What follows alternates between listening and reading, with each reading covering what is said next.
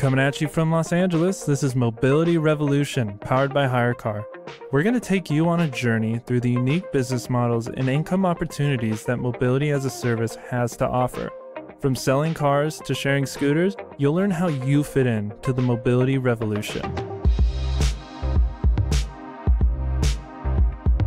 Hey everyone, and welcome to another episode of Mobility Revolution powered by HyreCar. My name is Nate. I'm Reese. And we're your hosts. And today we have two special guests today. Um, our first guest, Jeff Hodge. He's a native to the U.S. Virgin Islands, is an entertainment industry veteran. He has performed stand-up comedy across the world, from America's hottest clubs to a USO comedy tour of the Middle East, where he entertained thousands of troops from all branches of the United States military. And he's even opened for legends like David Sanborn, George Lopez, and Arsenio Hall. Uh, Jeff, it's great to have you. Thanks for having me, guys. Thanks for coming on. and uh, our other guest, Rudy Salo. Rudy is an infrastructure finance attorney at a large international law firm, public speaker, writer, and changemaker enthusiast. As an attorney, Rudy advises lenders, investment banks, educational institutions, and governmental in- entities on financing and structuring public and private projects through the United States. Well versed in both the financial and policy spheres of the transportation industry, Rudy passionately advocates for critical rethinking of our infrastructure to accommodate the advanced transportation technology currently available to make our daily commutes more tolerable, safer, and productive. Rudy, it's awesome to have you. Thanks yeah, for joining us. No, I'm proud to be here, and I'm sure your listeners are probably going, "What the hell is going on with yeah. this show?" uh, the, the reason why I can proudly say that I'm a good public speaker and even put that in my bio is one of the reasons because of the man to my left over here. I, I can't I can't write this in here yet, but I but I have done some stand up comedy because my teacher here has trained me to do so. So I have done that. So I promise, even though what you read may sound boring to some people, I promise I am not boring. Yeah, I mean, we just recently had lunch and just talking to you, you're really kind of quite the renaissance man. Thank you. Yeah. Thank you. Yeah, I am. Rudy, Rudy, Rudy. you just gave away my opening. You just gave away my stand-up opening, man. You're killing me.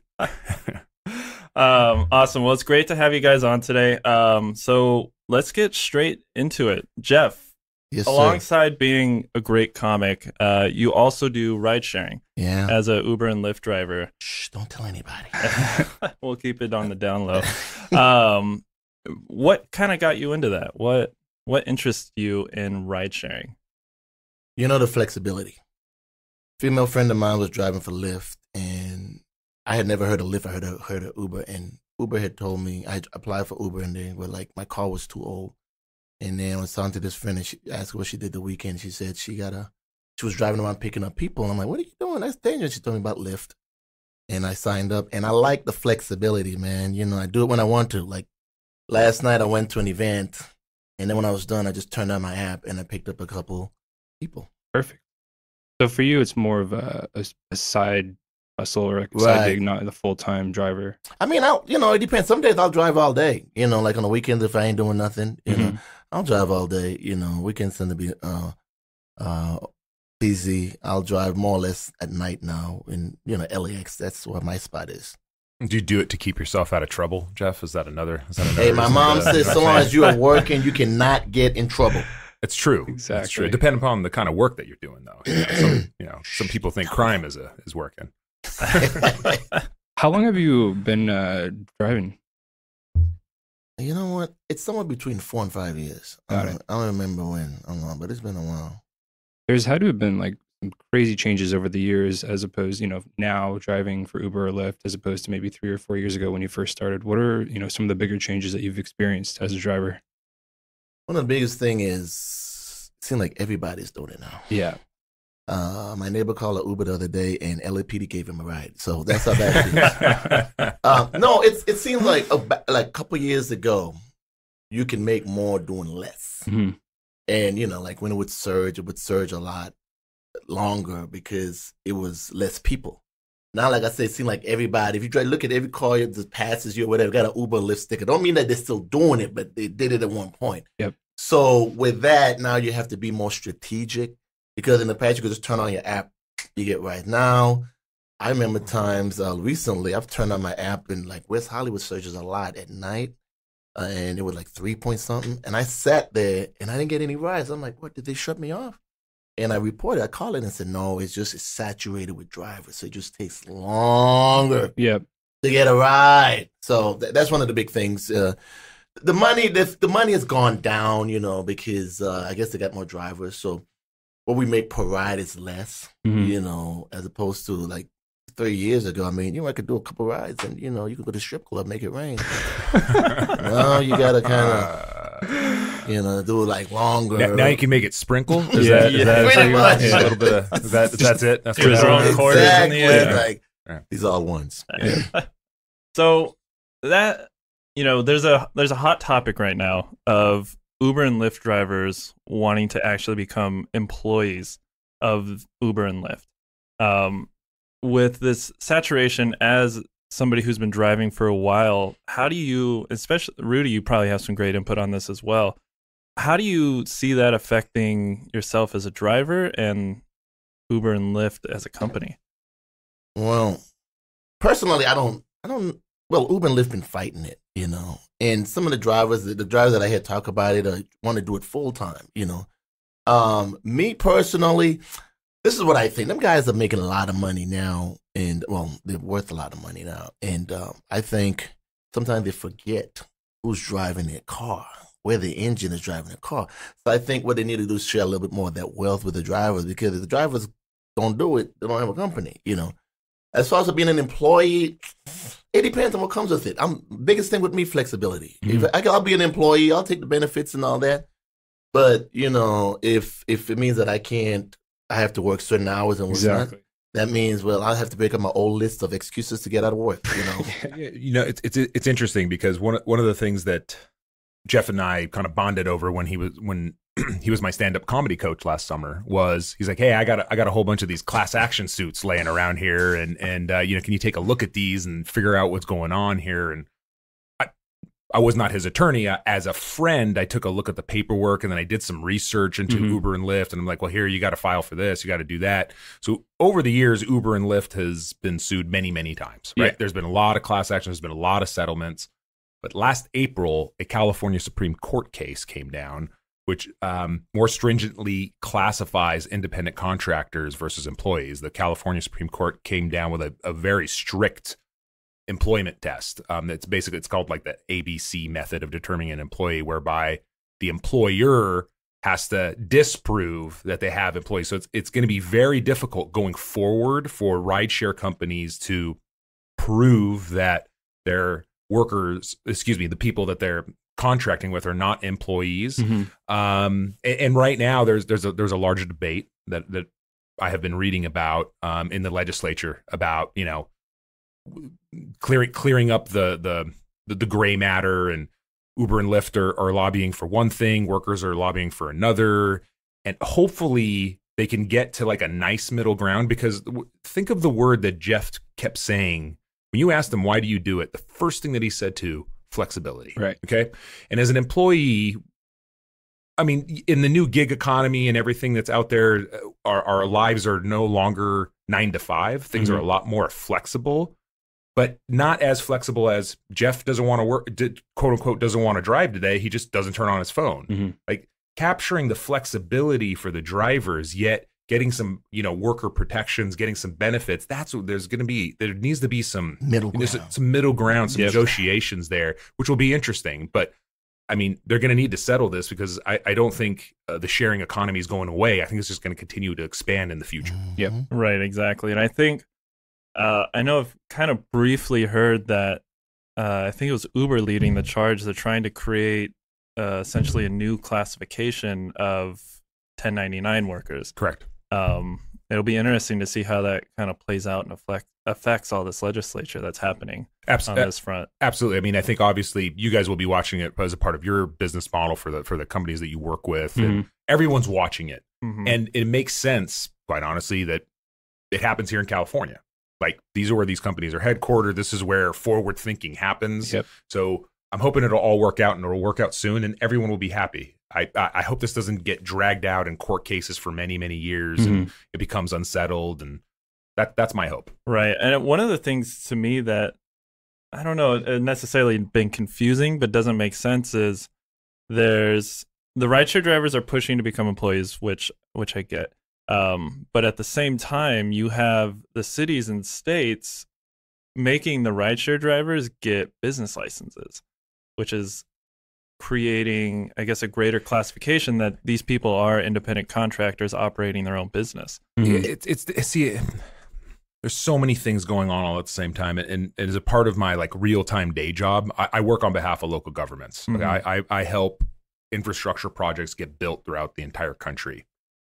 Uh, revenues are, are something that local governments are always going to need. Okay, Mhm. um, especially here in California after the passage of of um, you know Proposition 13, the limitation of of property taxes back in the late 1970s. Capturing um, property taxes is limited here, so local governments have have had to become creative in getting their local revenues. Mhm.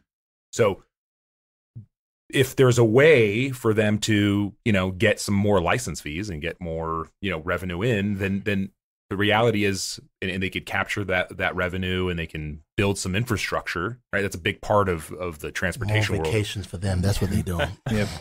It's not all bad. Um, you know, the, local governments need to look at that. These Uber drivers and Lyft drivers are passing through the cities, okay? We see them sometimes parking on the streets. We see them kind of hanging around. So they're Mhm. they are having an effect in the various cities. So one way to control that is to make sure that they have business licenses and they follow laws. So you got to kind of balance things out, right? Cities cities need to be safe and they Mhm. and they need to continue to operate and they need to have revenues and they need to balance that against, you know, workers, you know, wanting to work. So it's it's difficult. It's a, it's a hard thing to it's a hard thing to address. Mm-hmm. They're ripping us off, man. That's what I'm saying. um, I think you know another really hot topic, um, which you've written a couple interesting articles about, is the future of autonomy with Uber and Lyft drivers. Basically, um, you know, it's a question for both of you. How do you see? You know, autonomy is essentially kind of on the brink of Do you, just want to just want to correct you. Do you mean autonomous vehicles? autonomous Right, vehicles. gotcha, yeah. Yes. Um, we're on the brink of almost getting there to where we're we'll see them testing in our cities and all that. Um, but I still think they're they're quite a bit of ways out for it becoming the norm. Um, but how do you guys see that affecting rideshare drivers and especially yourself um, going into the future? well, I hope to have my TV deal by then, so I'm not worried about it. Yeah. But um, I've heard some people, uh, some of the drivers uh, talked about it. They seem concerned, and like I said, um, I don't know. For me, I'm not worried about it because, like I said, you said it's a couple of years away, so I'm hoping to be where I want to be. Mhm. You know, uh, I'm, I'll live in the moment. If when it comes, I'm still driving, then you know, I'll just have to, um, I don't know, figure out something else. Well, here are my thoughts on it. Um, you can go onto Google right now. You can go search autonomous vehicles, and you can get wowed. So the autonom- autonomous vehicles are already here. Okay, the rollout of autonomous vehicles really becoming a part of our society and and and taking over from jobs Mhm. isn't quite here yet. And there's a number of reasons for that. Why? Number one, we have um, we- we have this c- conflict, if you will, between the fed- federal laws regulating autonomous vehicles, and we also have every state having their own laws. So there's this disconnect between the two. There was some Mhm. legislation that was put forward about a year or two ago that would have uh, made it uh, impossible for states and local governments to govern autonomous vehicles, uh, level three, level four, level five. But that that didn't go forward, so that's not law yet. Mhm. So we still have this patchwork of legislation. So that's what it's called. So every state's got their own thing going on.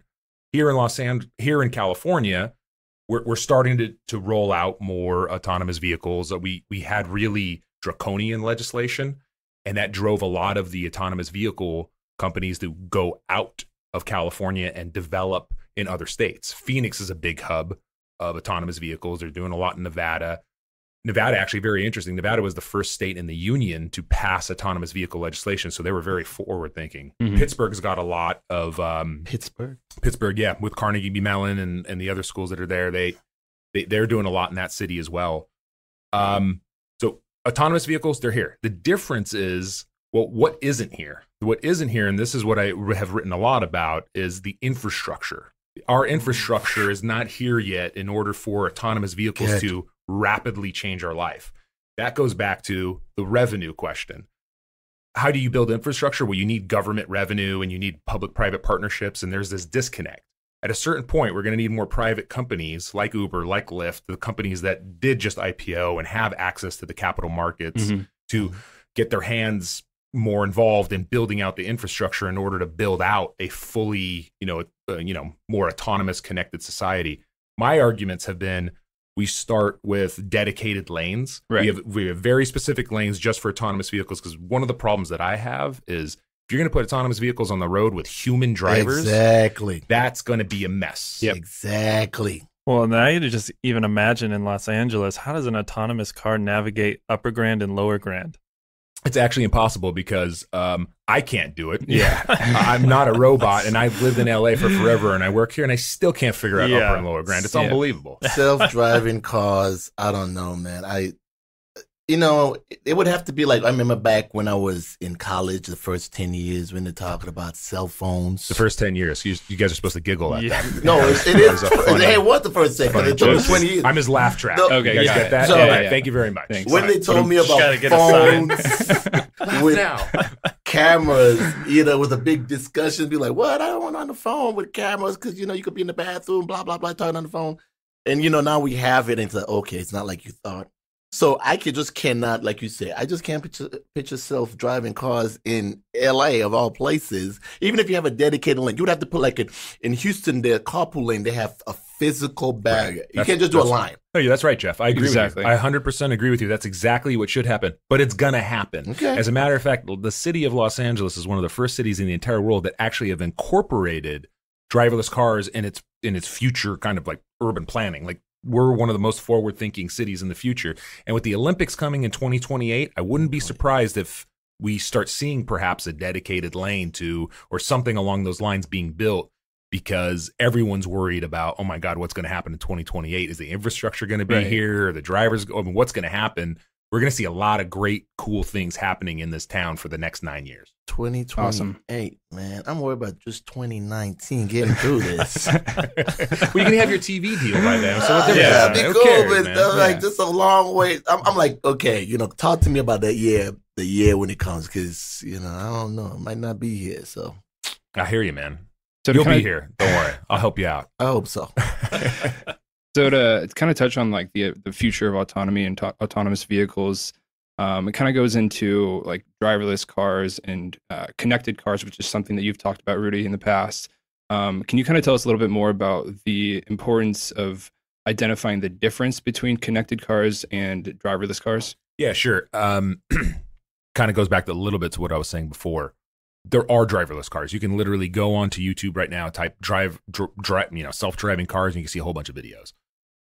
Um, a connected autonomous vehicle is something that is both, um, um, like you got you got to think about like 5G being built out, fiber optics being everywhere, uh, um, traffic lights, traffic signals, bridges, um, roads, everything kind of being connected, Mhm. um, uh, tech technology wise, uh, so that all the cars can speak to each other. Each of the car, like a driverless, Really? a drive a driverless car right now is just a driverless car. It's basically a car without a driver. But a connected autonomous vehicle is a car that is through you know wireless technology and fiber optics. and everything. It's, everything is they're they're all speaking to each other, and everything's moving along.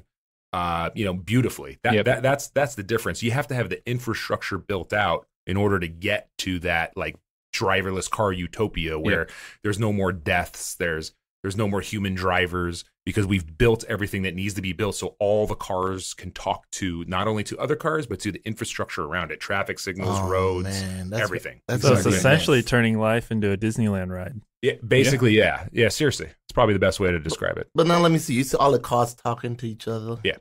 that's gonna be a mess. Cause you know some of them female cars gonna get mad at the Or- other female cars. I'm not talking to her, and then we have uh, crashes. So I'm just I, saying didn't- I they need to keep about that, that, in there. Yeah. That not all the cars gonna get along. all you're right we need to make sure our call all our call all of the cars are asexual is basically what you're saying. Yes. Or gen- gender neutral. Just- You know what I yeah, mean? That's keep it in what, you know, And then you said I'm for gender wireless. Neutrality. Now, are we gonna have uh, we gonna have like connection, um, you know, like reception all the way through? Or are we gonna like hit a point and then it's like, you know, like you know, That can't happen. No happen. signal. Yeah. right? No signal. Yeah. That's so now you're stuck. if, if that ha- that's but that's the point we can't let that happen if that happens the machine the, the car is going to stop and uh, chaos is going to happen Yep. that's why i argue we we need to really focus on the infrastructure first we need to build all this out and answer all of these questions Yep. like female cars not talking to the other female car we, i didn't even think about that Good like point, jeff yeah. jeff's a genius like Yeah. i totally didn't i totally forgot about that before we like start saying oh driverless cars are going to be here tomorrow and the world's going to change no it's not no not yet The ways out. Yeah. And then you're gonna have some of the male cars gonna see some of the hot female cars, and then they're gonna come off track to try, hey, what's your name, baby? And then see, we got a problem. We got to think about this. True. We should all just go We got to make the them one gender so that you know, and you know, That's a there's good gonna be point. Problems. You're a genius. No, I'm just. Well, that's why we If- brought him on the show. Yeah. If I was a car, I'd wanna be doing that. Um, to kind of take a step back for you, Jeff. Um, you know, we're gonna kind of get to a more lighthearted topic here. Mm, lighthearted.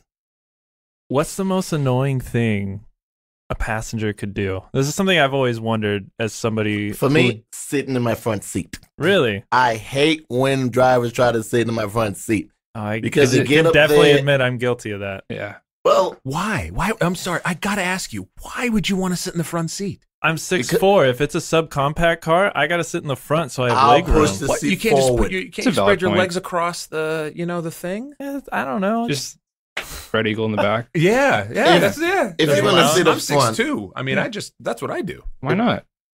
hot chicks will get a pass, but you know, for the most part, no, I don't want to because people sit up front, and then sometimes they want to talk, and uh, I don't want to. Sometimes I don't want to be bothered, man. So most of the times it's because you don't really want to connect or I'm the Sorry, grumpiest converse. comic you're gonna meet, okay? Okay. And like I said, sometimes like, it don't bother me, but a lot of times it's like, and I and now I try to keep like a cool and stuff up there because a lot of times people get in, oh, in the seat, and then they get in the back, yeah. and be like, Phew. but then, and that's why I don't like like uh carpool rides because you know sometimes you get two, and then a, another one, a drive passenger, and a, ah man. They come up front and then they're just like it's almost like they're giving you like grading you, they're watching you, everything you do. you know. So just sit in the back, man. your AC Play levels. with your phone. You know, don't ask me any but that's questions. that's the beauty of rideshare companies is that you can actually grade that guy too. You should be watching everything he's doing. I tell you what, if the fare is less than ten dollars, you're getting a one. Everybody. Ooh. If it's That's a short fair. ride, That's not fair. That's I'm sorry, harsh. man. That's Yeah, not that- you know what? That's People do the same thing to those drivers. So it's like, it, it, wor- but then again, that's only me. That's only me. I don't know what the other drivers are doing. But You- you if it's a short ride, mm, I don't want. You'll never be my car again. you are ruining people's chances of getting future Uber and Lyft by giving them a one. No, with me. That's only with me. No, but that's not So how it do works. they it aggregates. also send you back a like a poor rating as well after you, they Uh, you see know that what? you I don't know because you, you don't see like like when you get up my car, they don't show us what you rate us. We don't see that. So what'll happen though is you'll get a text or email and said uh, we have a complaint from a passenger saying you didn't want him to sit up front and all that. And like what the hell, you know? So but you don't we don't see the grades. okay. So here, here's here's one of my major issues with this, and and Jeff and I talked about this on our on, on the podcast that I'm on, the Wisco Weekly podcast. I'm the transportation correspondent, and we we we we got into it on this because I often use I and and a lot of people that I know use Uber and Lyft as a first mile, last mile Mhm. solution. Like, there's a lot of people that live in the Pacific Palisades and take Uber and Lyft down to the end of the Expo Line. It's great rather than driving into downtown. I live in Manhattan Beach, and some sometimes I'll use it to go to the end of the Green Line or, or to take me to another station. But Jeff, because it's because that's under ten dollars, heck, it's under five dollars, is going to give It's me gonna a be two dollars eighty cents. and that's and that's too bad. So if that's going to happen, then I hope that Uber and Lyft replaces you people with with robots, with all the drivers. You know, you know- I, I would rather deal with a, You with know a robot. you know- I'm sorry, but you know what would remedy that problem? Have a minimum ride of five dollars or something like that. Well, they used to have that. They used to have it, but no, now, like I said. I've oh, Yeah. had the Is that two right? Mm-hmm. eighty, and people didn't- say, "I'm gonna tip you," I and they didn't know. never tip. Yeah. Okay. So, So that's what I'm tipping. saying. So if, if- like I said, five dollars, okay, fine, I understand. But I get a ride. I'm sitting here in the LXQ and it's surging, you know, 2.1, 1.9, and I'm about to get. Then some some guy at the hotel orders a ride, and I got to go pick him up. and it's two dollars and eighty cents. I gotta got a ride going to San Diego for hundred and sixty bucks. You know what I'm saying? So It's a it, fair it, point. it kind of it's like if you want me to do all them rides, give it make it a minimum. Well, I know if I do this, it's five dollars. Five dollars is five dollars.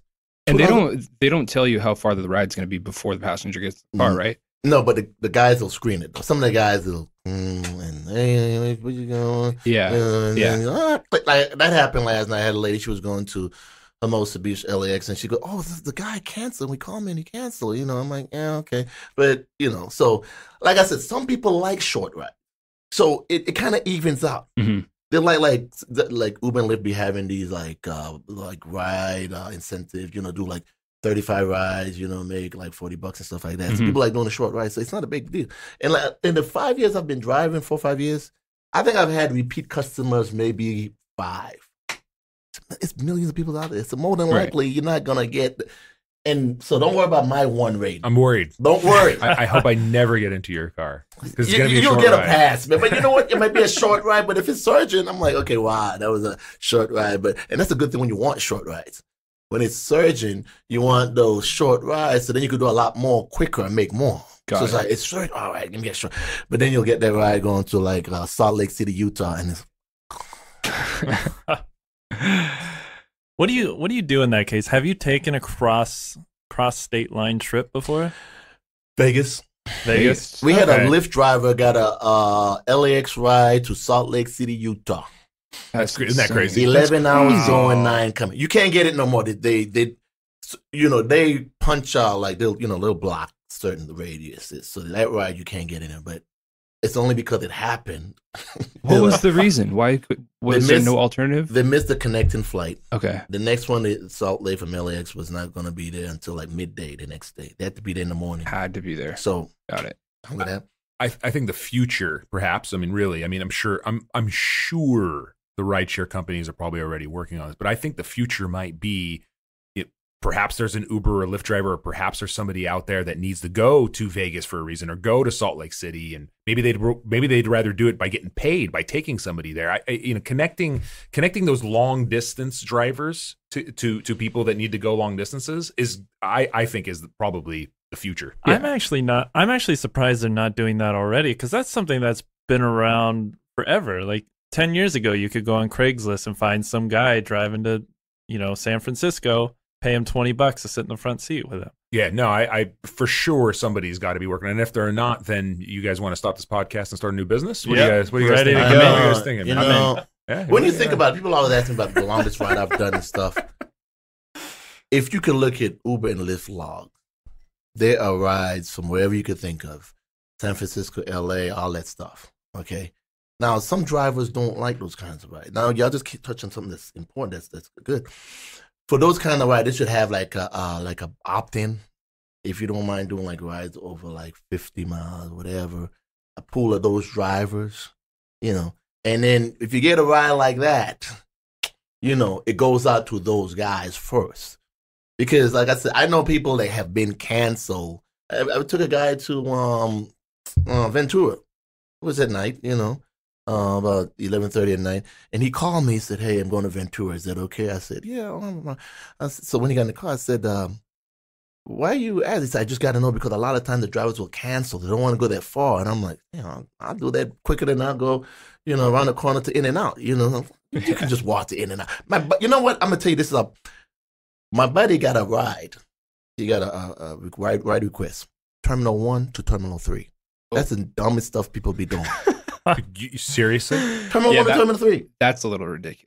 was, was, was did this purpose? This, I mean, I'm trying to be fair here. Did this person have like a disability? No, it was a regular girl, and she she tried to she tried to tell us. She have a oh, lot I- of bags? No, Well, good. Yeah. que- another good question. no, because all she had was a laptop, and I'll tell you what. She tried to tell him, well, we're going to pick somebody up at Terminal 3. So when he pulled up, as he's slowing down, she ran out. And he he waited, waited, waited, waited, waited, waited, waited. And, you know, LAX, the cops, oh, you got to move, you got to move. So he, he took off.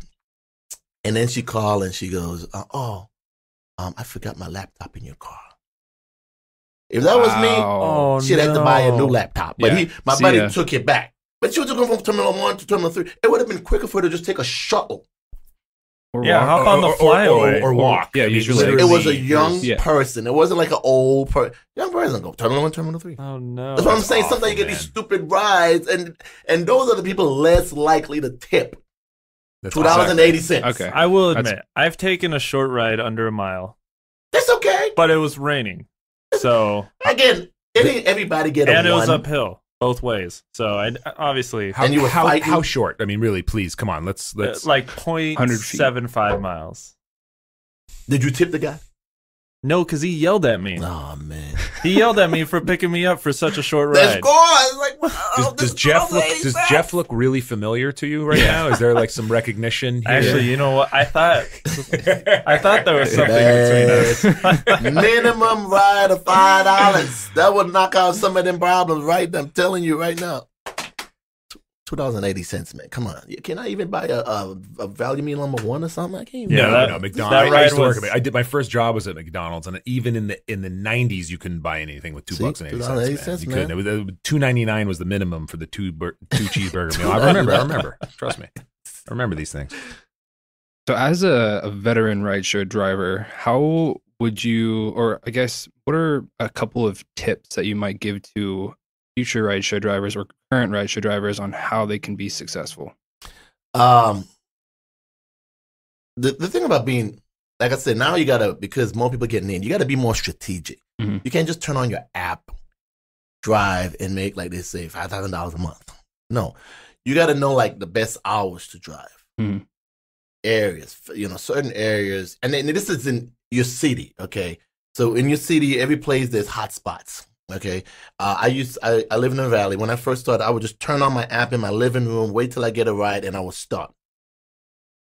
Then I would get passengers in the car and say, you know, I have a neighbor that drives for this. He would go out to the beach and he would clean up. I'm like, So then I, I, I would start, turn on my app, get in my car, turn on my app, and then I would head towards the beach. But then, you know, you kind of get people, you know.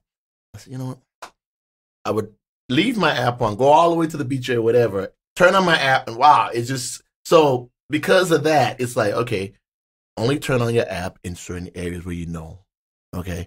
Uh, if I do a ride like I do LX, I'll do a ride and I'll drop them off, turn off my app, and drive back. People say, well, well you want to try to get a ride back? More than likely, you're going to get somebody in that area. And it's going to keep me in that area for a while because a lot of time what they'll do is if if you you have a ride and you're in the area, somebody need a ride, they'll just add it to your queue, and then it's like you drop you off, and then I gotta go pick him up. You know, so it- you know, it take me four minutes to go pick you up, and then you're going just down the street five miles. That's nine minutes. I could have been close to LAX, get another ride, going to Vegas or something. So pick good times. You know, drive when it's surging. Mhm. You know, rush hours. Weekends, rush hours, Rush, whenever holidays. rush hours, people gotta get somewhere. Yep. So you know, okay, rush hours, and I I do like studies. I'll look at my phone like you know daily and say, okay, you know, every day like around four thirty uh, to like a seven in this area, it's surging. Mhm. So if I'm gonna drive, let me go in that area and be ready. You know, same thing. Like you know, I don't drive the club nights anymore. Like like one thirty in the morning. You're like people throwing up in your car. and- I've had that. Well, they didn't throw up. I've had to get people plastic bags, and you know the, the ones you get at the hospital yeah. ah, ah, that kind of thing. But I've been lucky, but no, I don't do that. Um, Hey, Jeff, this sounds like a perfect opportunity for you to plug your YouTube channel that you talk Oh. about these tips. oh yeah, that's right. I, t- thanks, Rudy. Yeah, of course, man. Rudy, what- Rudy. There you go. Rudy, Rudy. I have these very same tips on my YouTube channel. It's called Comedian Jeff Hodge. I got about 19 tips on how to make five thousand dollars a month uh, with uh, Uber and Lyft. Got okay, and you can go on there and you can just watch the little survey. And this is stuff I learned over the Mhm. four or five years doing it. And it'll, it'll, you know, just like people people ask me, which one should I drive for, Lyft or Uber? Download both both apps. Drive for both. That's something actually I was wondering. I mean, it's something that you hear all the time of drive for both. You'll earn more money, double the earnings, double your your earning potential. Is that is that a fact? Is that true? Do you see that when you're driving? Okay. Uber is the difference between Lyft and Uber is far as Uber is like Starbucks, Lyft is like coffee bean in size. So Uber is more busier. Okay. So if you just want to do rides, go with Uber. But again, but now sometimes Uber surges more, a lot more too. It's, Mhm. just surge. Okay. Uh, it used to be in the past when I first started, Uber was just, they didn't really care about the drivers. Lyft was always more about the drivers that listen, Yep. whatever. So you know, you got a better experience with Uber. I mean, with Lyft, you want to, if anything, like let me go with these guys because they they treat you better. Uber's like, they were basically the attitude was just just do the right, just do the right. We don't care what you know. You're sending complaints, you want to hear any feedback, whatever. Um, drive for both. Um, you're probably gonna make more money with Uber because just because they got more passengers. Got it. You know, so you just you'll always get it. Whereas it may take you if it takes me five minutes to get an Uber ride. Lyft in, in certain areas. Uber, I got LAX. Uber, if it takes me 10 minutes, Lyft might take uh, 20, 25 to Got get it. a ride. Okay. I got a question for you, Jeff. So if you do have both of the apps and like Mhm. you get a ride on, on Lyft, does does does Uber know that you're like that Lyft is going, or do you actually have to turn off the app? How does that work? Like like process wise, I'm curious. Well, curious. if you kept both apps on, this is what we do. Turn on both apps. And then uh, whomever the ride comes in first, that's the one I'll take. But now sometimes they may come in together. right. And I might look, okay, where are they going? And they'll tell you like sometimes they'll just show you like uh like you know, this this is going like twenty uh, seven miles. Lyft does this a lot now. Seven miles and it's like, well, this is in this one is surgeon, so let me go with this ride. So, you know, if you don't know, you're just like, well, you know, um I'll go with this one. So you just make a choice. But uh, what you could do is just and then once I get that ride, I'll turn off the other one's app app until after I'm finished the other ride. Because what'll happen as you're driving, you keep getting rides, keep getting rides, keep getting rides. Right. And then if you start getting a bunch of not accepting rides, they're gonna send you a message. Hey, you're not accepting rides. If you're not driving, turn it off. And you you you don't do anything with any of like the Uber Eats or any of the food delivery places, no, right? um, because a lot of time that's more like you got you got to set up times to drive. Yeah. That, so my so I I got familiar with with HyreCar first. I mean, Brian Allen went on to my the Wisco Weekly podcast, Mhm. and then I got to know Brian, and he told me about what you guys provide. Lo and behold, I had a cousin move in with me, and he had driven for Uber um, three years ago when he lived here, and he owned his own car. But he came and he stayed with me. He was you know he was going to start a restaurant business. He's like, I need to get a car. Like I need to figure out a way to like rent a car and like get going on on working so I can put some money together to start my restaurant. I introduced him to HyreCar, and you guys you know, immediately he within like a couple days he's working Perfect. and he's been delivering and he's he's been loving it. He's not doing Uber or Lyft, but he's doing the food delivery. But you're absolutely right; it's scheduled times on those. Do you get do you guys work with those companies at all? Do you think that that's that's how they're just going to continue to do it, where you actually have to schedule your time? Because that seems like really inflexible. Do you know like specifically which companies he's working for? Because I know a couple of those, like Postmates or DoorDash. DoorDash, um, definitely DoorDash. okay, he so- definitely does that one. I think he might do Postmates too. Okay, I know. That, I mean, it might also be location based, where they uh, ask you to set your own schedule, or to they they kind of I guess set a schedule for you. Yes, they that's that's correct. Well, yeah, so, that's right. Because yeah. I know that there are um, they do advertise in most locations that you can you're be your own boss, set your own schedule, you- work you- on your own watch, You pick on your, your watch, hours. you know? Sometimes you get like the hours you want to work. Like I'll work from this hours, and then the thing too again with that, it's same thing location. Like Mhm. you know, certain places might be busier in the mornings from breakfast. So if Right. you're gonna do breakfast and then lunch and dinner and stuff, like- and then certain areas. So if you're gonna do that and you want to kind of just get more bang for your money, you got to figure out that little trick too, as opposed to just doing every. Because one other thing I hear about with the delivery drivers stuff is apartments. In here in LA, it's a lot of time getting in or even getting into the building is the problem. takes Mhm. time. And then some of these big complexes that say people they don't even meet you at the door. They, you know, you got to come all the way up, and and then the parking sucks. Yeah. So you can't find the parking. Oh, and, parking's the and then some of these parking, you know, these uh, you know LA parking guy, you kind of like, okay, I'm going in and uh, you, you double park, you run up there, it takes a while, you come down, you get a ticket. So those are the little things people complain about when they do the DoorDash and stuff. It's like people, you know, it sometimes it's not worth it because I, some guy ordered a little five ninety nine meal at McDonald's, and I want him getting a seventy dollar ticket t- parking ticket because you don't want to bring his butt down to open the gate or meet me somewhere. So Do, Yeah. do I the payouts work similar? I, I, I while we're sitting here, I'm thinking about another infrastructure fix in, in all future development. Just because of the way our economy is going and all the delivery and with Amazon and every, everything happening, and even rideshares picking you up, they need to have a dedicated par- uh, parking space for delivery Yeah. for for, do. for these delivery things out on every single city. I mean. Because I can do. only imagine how painful that parking is, man. I mean, that's got to be horrible. yeah. look, what's even worse? I'm I'm one morning I did a ride in West LA, West West, West Hollywood, and it was like you know like 7:30, 8 o'clock in the morning. So and I hate this. I pull up the street and I'm there waiting. You know, you push the thing. I you what I do before before I show up. I'll hit like I'm here, and when I'm around the corner, so they can get their butt down. So a lot of times they'll say they're coming down. When they say that's another five ten minutes. So I'm there waiting in my car. You know, cars running. Here comes parking enforcement. Oh. He's like, um, you can't park there. I said, well, I'm not parked. I'm waiting for. So-. I mean, he knows what it is. You, you know, when you see cars waiting, Yeah. probably and you see the sticker So- Uber yeah, exactly. He's like, well, you don't have your flashers on. I'm like, so he Here goes, go. I'm gonna go down to the end of the street, and if I come back up, you're still there. I'm gonna give you a ticket. Now he has the one with the cameras, and those ones that have those cameras, they'll pick up a lot more information. It ain't like you could just drive off. Okay, but I'm like, see, that's what I'm talking about. That he knows what I'm doing. I'm here trying to pick up a passenger that's inconsiderate. Order this ride. I know the street is busy. You can't find no parking. It's like, come on, man. If you know your street don't have parking and nowhere for the guy to pull off, when you order the ride, be your ready so that when he pulls up, jump in and you go.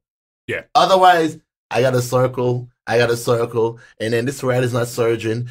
Uh, there might be a two dollar eighty cents ride. Cancel. See, I'm here- not doing it. See, here's here's the issue. I mean, there's a lot of them. We, we're we're we've grown up. I mean, not necessarily in Los Angeles, but just nationally, especially like in New York. We've we've grown up with just taxis, right? You call you call a taxi, and it, you are paying that taxi, and uh, you know for that brief period of time, it's a license. You know, I I have this ride, Uber and Lyft is ride sharing. You you you there needs to be some consideration for the drivers, right? You're not you're not a taxi. This is different. This is somebody's car. This is somebody's time. And so there needs to be like a mental shift that I think needs to happen so people will become more considerate or you know we're then again on the other hand we're all human beings and we're all just a bunch of jerks in any in any event and it's probably never going to happen but yeah that's where the whole ride sharing versus taxi thing needs to be broken down in my opinion Well, if Uber and Lyft, I mean, Lyft, Uber start, they've, they've kind of made a little adjustment. I know Uber would, we can't start the ride until you get in the car. Now, I know what Uber will say you get paid for waiting. Okay, so they- they've made some shit from before when I started, when they never used to pay you. And now that what they need to start doing is, again, letting the people know, and I just, I don't know how much it is they're paying, but, you know, make it a little bit more cost costly for them. Then more people be you know, willing to be out there ready if they know they're gonna have to pay five dollars minimum, it's ten dollars, you know, because like I said, sometimes we're taking our safety in, in in in our own hands when we have to pull up at some of these places and there ain't no place to you know, you go to Hollywood, man, there ain't a lot in the streets, there's nowhere to pull over. And then some of these people don't want to walk from like here to that door. Can you pick me up curbside? That's over here. Sure. I'm gonna have to go down there do this. They're gonna take me another ten minutes. Mm, Yeah. yeah that's terrible that, that you don't get paid until until you pick them up that's that's ridiculous and that's Yeah, they act like you're the personal driver. yeah that's I'll be right down. I Yeah. waited a guy one time, 15 minutes. that's that's When I first started, I, I didn't know that, you know. But I would, as I showed up, I would hit, uh, uh you know, start ride. And uh 50, he was right there, La Brea and um, Wilshire, them big $5,000 apartments right there, nobody can afford. And I'm there waiting, waiting, because I'm, you know, I didn't even know how to get I had to go down and all this stuff. So I'm waiting, waiting. I'm like, man, maybe I should go. He came down, man, one of the young 20s on, um, got in the car, take me to Glendale. Okay. But 15 minutes, dude. That's now I'm just like, It's unacceptable two, or three minutes, and I'm canceling. Screw tell that. me he got a one star please please tell me No, he was going, he was going to Glendale, and he was on the clock. See, It was over ten dollars. it was over Yeah, ten yeah. dollars. I was Fifteen minutes waiting, two- and you then got when two it stars. Glendale's, I'm like, okay, yeah, he, he he can do this again. Yeah, I'm gonna give him five stars. Come back in the car. Yeah, your, your your rating system is ridiculous. no, oh, it ain't. It's completely unfair. I don't like it. No, it ain't. All right, I'm Rule just of telling, that's my thumb. opinion. I'm That's Just don't here- get in his car. I'm here to make I'm money, not friends. Yeah. Don't sit up front unless you're a hot chick. Then That's sit fair. up front. Yeah. Can if, talk. if you're married, sit in the back. I don't want to talk to no hot chicks. Yeah, I'm, I'm just saying. You need some incentive, man. Because sometimes you be sitting up there going, man, I hope that when I win the lottery soon, man. I can't be doing this with these people. They- you know, because they get in there, sometimes they have attitudes. You know what you can get with two dollars and eighty cents? You can What? get you, you can get a lotto ticket. You can get You can get two upon lotto super lot- well, a tickets. super lotto every Wednesday and Saturday. You can get you can get two. I'm just throwing that out there. People in the big cities do not win. You got to be living in some hick town it's with a, some foreign name, and then you win. But you, if you're in LA, you're not going to win. If you're in Houston, you're not going to win. You got to be in a little, a little shitty ass town. Oh, uh, Rudy, as somebody who's vocally oppresses their or vocally pronounces their distaste for cars uh, in general, where do you see the the future of mobility, or uh, the near future of mobility? Yeah. I have vo- I vocally express myself against commuting. Okay. Ah. I, I, I don't commute via my own vehicle mostly, right? I mostly take public transportation. And that's because when I was growing up, my grandmother immigrated to this country. She didn't speak English. She didn't have a driver's license. She never got a driver's license. She actually learned how to use the bus system. And she taught me how to use the bus system. So we used to walk everywhere and take the bus. And it was great. It was it was freedom. It was freedom for my grandmother. It was freedom for me. I used to take the bus to my my my my school over in Anaheim, even though I lived two cities over. It was fantastic. How, in Orange County, how long does that take? It take you like an hour. It, it, it you know, yeah. I mean, you know, that, I It's the mean, experience. it does take a while, but back and back then I didn't have a phone and I wasn't being productive. You know, back Right. then I suppose I was reading all those thousands of books that I used to read because I used to be a big nerd. I mean, I'm totally cool now, but but but What kind of book? A lot of Stephen King. I was Oh. really into Stephen King. Um, now one of the reasons why I use public transportation is because with smartphones you can get so much done. The reason you know you called me Renaissance man earlier. You want to know when that happened? Is when I gave up driving every single day. I've always wanted to be a writer. I've always wanted to create my own stories. I wanted to screenwriting. I wanted to learn how to do some stand up comedy. I wanted to be a better speaker. Once I, um, you know, delegated driving to you know somebody else, i.e., the train or the commuter express, I have two hours back a day for me to either work or work on personal hobbies, things that make me feel, you know, like uh, like proud and and for for a number of reasons because I'm not driving and I'm not polluting and and and I'm saving money. I mean, it's ridic- five bucks to get from the South Bay to downtown LA versus 50 bucks with the with the toll and the gas and the parking. So I'm saving money, I'm helping out with the environment and I'm being productive. My favorite vacation, road trips. I love road trips. I love getting in the car, especially in the state of California, and checking out all the awesome, amazing places that we have here, as well as Nevada. So I don't hate cars. What I hate is using a car when you don't have to, when you could be more productive and you could save some money. I think everybody is starting to agree with me. I mean, I've, I've had this. Uh, 10, 12 years ago, I gave up my car for a year. This was before. This was before Uber, Lyft. This was before the scooters.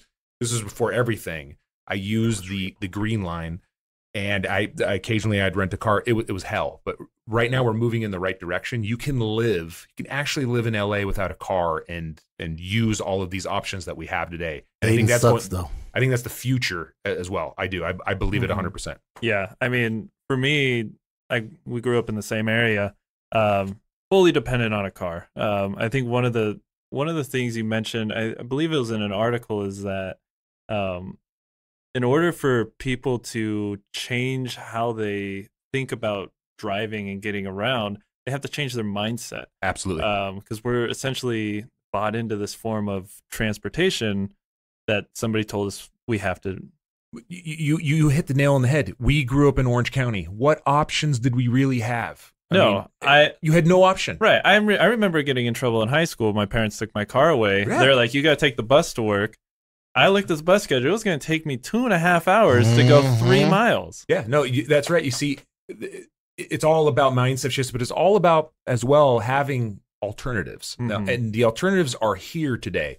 Still not really there in Orange County. You're not seeing a lot of the micro mobility companies. You still have cars and you still have buses, but at least you have Uber and Lyft to get around. Mhm. It's starting to happen in the big time suburbs. Right. Here in LA, I'm telling you, you you, you can live without a car Right. easily. It's Well, a lot po- easier. The point I'm I'm getting to is when I moved from Orange County to LA, I stopped using my car. it's awesome. I tried to. I actually I was running late today, so I was going to try and drive into work.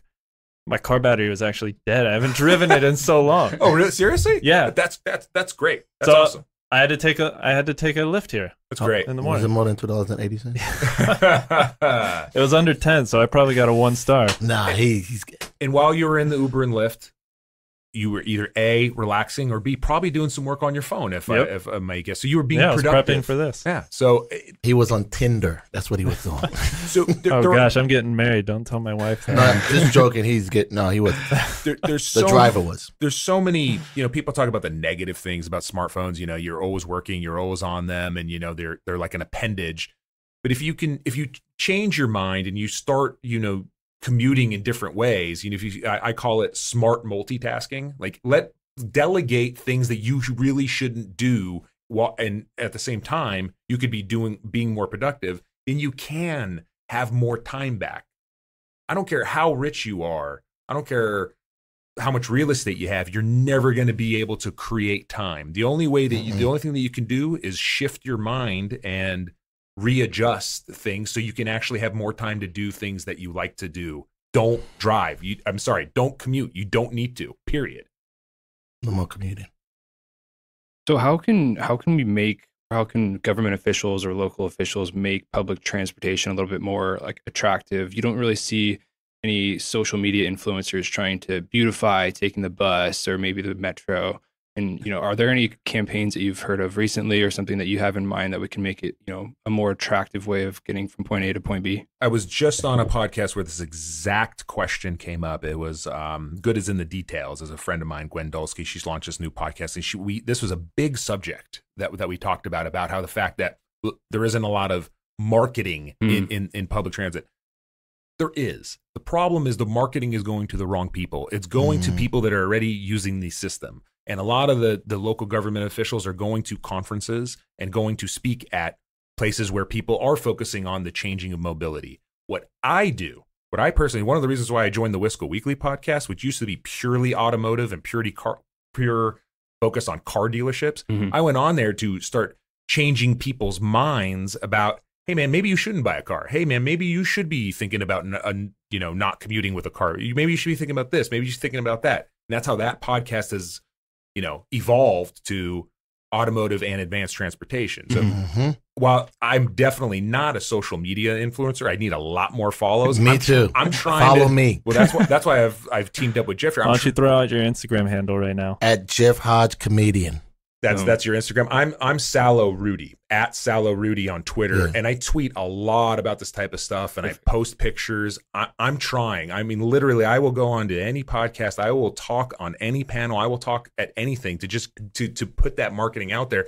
And I'm not getting paid for this. I want to get paid. He wants to get paid. I I feel like it's my duty because I work with local governments and because it's changed my life in such a positive way. Like Mhm. the fact that I'm able to do all of these amazing other things and keep my day job uh, is amazing. And y- you can too if you just stop driving. Stop driving. Stop, Stop driving. driving.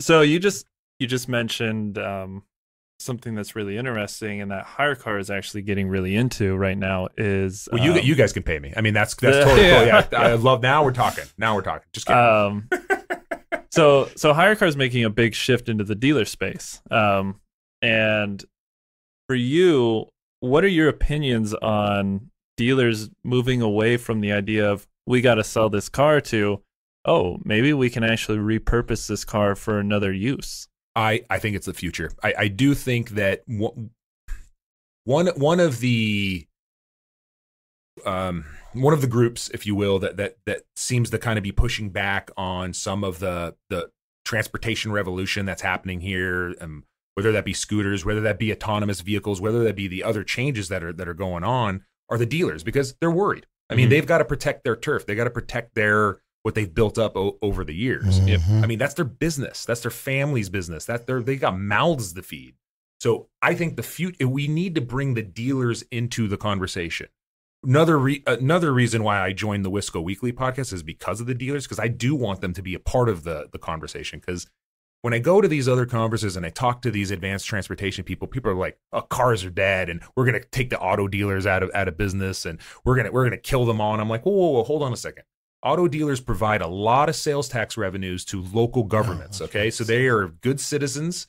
They they help generate a lot of revenue. We're, we we sh- we should not be killing the dealer. We need to bring them as a part of the conversation. What you guys are doing at HyreCar, I love it because you guys are helping to bridge that gap. Exactly. That's why I'm here supporting it and we'll continue to support you guys and talk you guys up any which way I can on any forum because we need to bring the dealers into the conversation. They need to have some skin in the game. This way they won't battle back. They'll be a part of it and then and then that'll help the transportation revolution happen in a, in a in an orderly fashion. Get you a HyreCar. You can use it to spy on your spouse. oh. Let's see. I mean, is there anything else you guys have to say about transportation and where it's going?